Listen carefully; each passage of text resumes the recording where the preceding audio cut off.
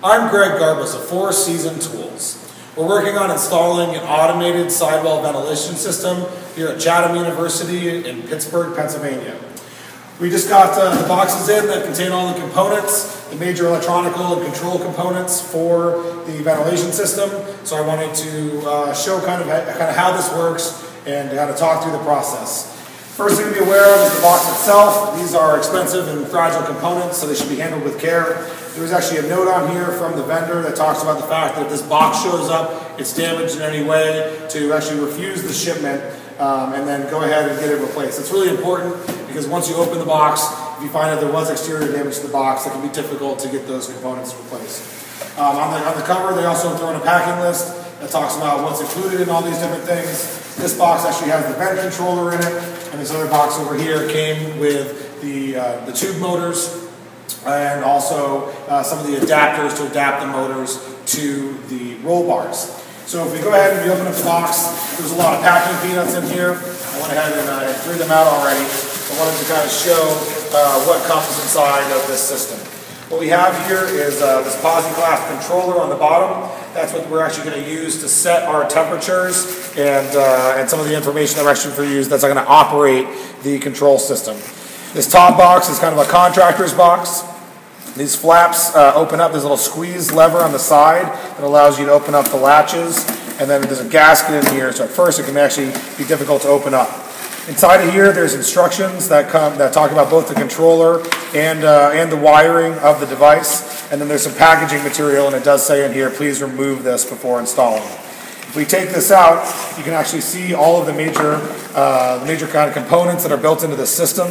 This particular system is a low voltage system, and you'll notice that here on the inside of the door, there's actually a wiring diagram showing how all of these different things uh, go together. With, uh, with this vendor, we get various different components, and sometimes the exact specific things change over time. One of the things we really like about working with them is that they're always improving their product. So some things might not look exactly like this, but all of this stuff is, uh, is comparable as far as what it does for us. Basically, this entire thing is pre-wired. We've got a thermostat wire right here that's got some length to it. Typically, we would try to put this in the center of the high tunnel. And then there's a power cable this whole thing is pre-wired, so this just can plug in to standard power. Since this is a low voltage system, it might actually have different requirements for conduit and uh, how to actually you know, safely run this inside of the system. But basically all we really need to do is take this box, we're going to drill a hole in the side of the box, put a waterproof connector in it, and then we're going to run the two wires that come from each motor into this box. We're going to hook them up into these fuse uh, time relays and make sure that, we, that it all works correctly. They do label this, in this case it actually says black wire and white wire on both sides. The actual motors themselves, the wires are a different color, and again that has to do with the fact that a lot of these systems are used with interchangeable controllers and interchangeable parts. Really proud of kind of how they package it and how it all works. So the second box here, again I kind of already removed some of the packing material to make it easy to show you. There are a couple of major things. There's two sets of these motors inside of the system and there's also a small package of parts. This package of parts includes the adapter to adapt the motor to the roll bars, as well as some hardware and some instructions on how all of this is mounted. Uh, there's different motors that we've gotten over the years, and they just keep getting better in design and in quality from this vendor, which I like. But basically, this motor has these rollers on it that allow this to go up and down on a guide pipe. So as this rotates and it rolls up or down the curtain, this whole motor will actually go up and down with that guide pipe. This particular version of this motor has uh, two different adjustment knobs in here. The Phillips head allows you to unscrew these uh, adjustment knobs. It's, it might be hard to see in the video, but there's actually a little peg off the bottom of either of these components. And as it turns, this red peg hits this red limit switch, and the black peg hits the black limit switch, and that's what stops it from raising up and down and stopping it in the up position and the down position. So we actually have the ability relatively easily right on the motor to control the positions and the, uh, all the way up and all the way down. This comes with about 10 linear feet of wire. It is a 24 volt motor. There are two wires right here, even though I said the colors are different.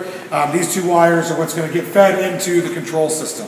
Since we can run this motor in both directions, it's uh, really easy to actually switch the directions of the motor. Since it's a DC motor, we can actually switch it. If you're running the motor and it's, it's running in the opposite direction that you need, you can switch the wires and it'll change the direction of the motor. What that allows us to do is actually mount both motors on the same side or the same end of the building.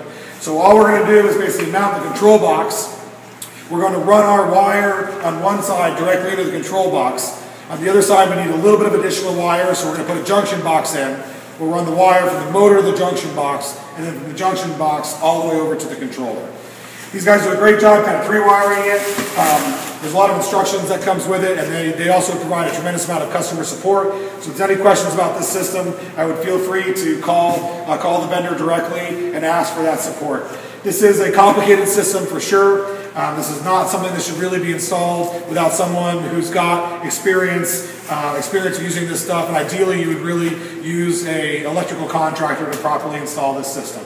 Now that we've gone over the components, I'm going to go ahead, I'm going to wire this all up on the bench, to make sure that everything's working functional, working exactly how I want it. Then once I've got it all trialed and got it all tested, we'll then go out, mount it to the structure, and then make sure that everything works once it's all installed. We're working on the automated roll-up ventilation system for this high tunnel. So what we have is uh, our control unit, our contractor's box. We've got two of the 24 volt DC motors first thing that we're always going to do when we work with components like this is we're going to bench test everything. If anything's not working right or there's any problems, I want to know about it right now before I go ahead and go through all the energy of mounting all of these components. The control box itself is actually going to be, when it's hardwired, it's going to be different than how we're going to bench test it. It's really easy when we bench test it just to go ahead and run the wires directly into the panel and make sure that we're getting everything correct put it in for real, we're going to go ahead and use these knockouts, wire it all up, and go through that effort of really mounting it correctly. The other thing that I really uh, like about trying to bench test these things is it's also an opportunity to really learn how the device works. You can take this, you can sit down at your you know kitchen table, figure everything out, and it's also recommend not only kind of testing it to make sure that things work, but I would go ahead and actually learn how the controller works in that environment as well. That way when you put it up, not only have you kind of tested that the motors work, you also know how it works. So if there's any problems, you can know right away when you're actually trying to get this thing working as it's installed. It's a lot easier just to figure it all out, test it, and then really learn how the thing works all on a bench. So specifically, if you can come a little closer, um, what we're doing here is we have uh, our two different motors. Since they're a DC motor, to change the direction of the motor, all we have to do is switch the lines. There's only two cords that come out of each of these motors. Although the motor, the motors themselves have, a, in this case, have a brown and a blue wire, it is labeled black and white wires. It doesn't actually matter. The point is, is that this controller can be used for a lot of different uh, applications. So it's really just important that we get them into the right spot.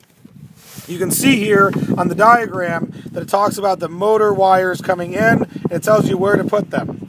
These different fuses are actually in the way so to, to install this you've got to pull these fuse blocks out. The fuses are on the back side of it and then that goes in and allows you to unthread the Phillips head bolts to get them in. So I've done that to both sides and I just have my motors going in and working. There's two extra fuses that came in taped to this box. So if anything stops working, one of the first things you can do is you can pull out these fuses, you can look at them, or with a multimeter or a conductivity tester, you can test if the fuses are good. So what we're going to do to try this out is we're going to go ahead and we're going to put the fuses in where they go. Again, this is this this particular control unit is designed to run two motors at the same time. Now, it's really important that if you don't know what you're doing, that this can this can be a safety hazard. You don't want anybody to get shocked. So dumb things like, before I turn it on, I'm just gonna try to close the lid and try to do this safely. I've got my power coming in, and what I'm gonna do is I'm gonna plug in these things. So I got both of my motors running. I've already bench tested this to make sure that they worked, and what I did is I actually got each motor to work independently. When I plug this in, whatever's going on with the settings of the controller, it may actually turn the motors right on, and I think it will, to allow them to go either to that full open or full closed state. So as I plug this in, we don't have any power. I'm going to get the power hooked up and we're going to continue the video.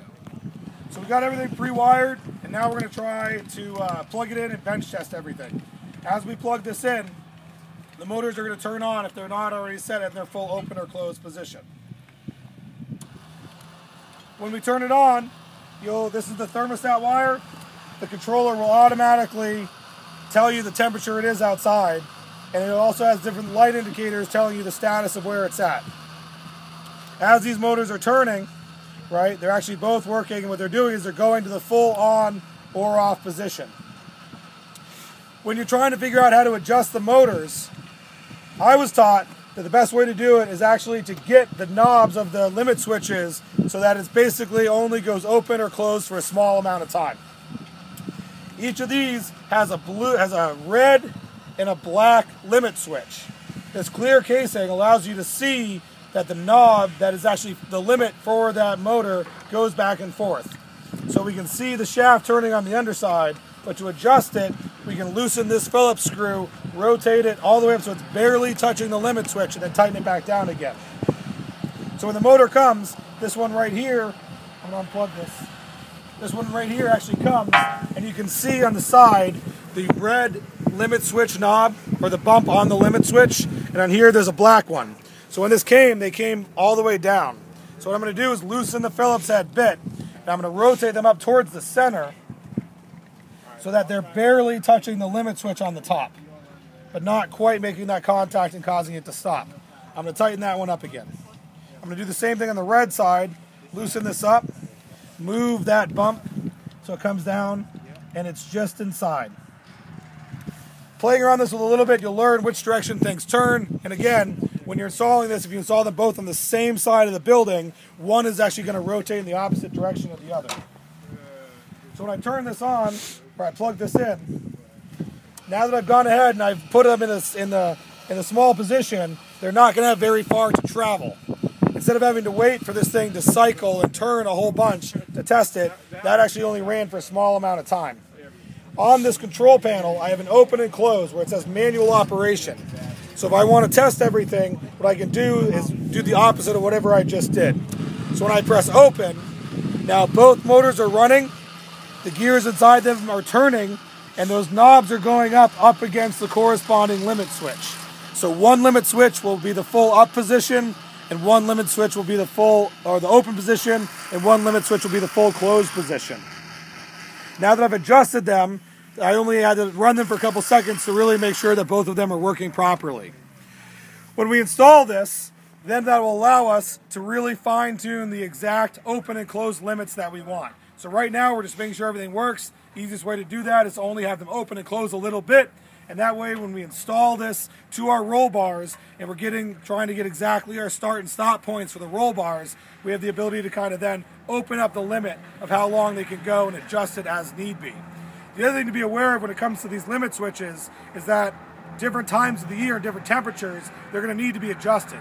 Plastic will shrink and grow depending on the temperature. So these limit switches are going to be used not only when we first install this setup, but they're also going to be used after we get it installed based on how that plastic is shrinking or expanding.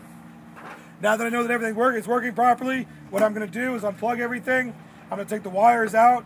I'm going to pop them through my knockouts. I'm actually going to mount the panel I'm going to mount the motors. I'm going to start wiring up, wiring it all up for real.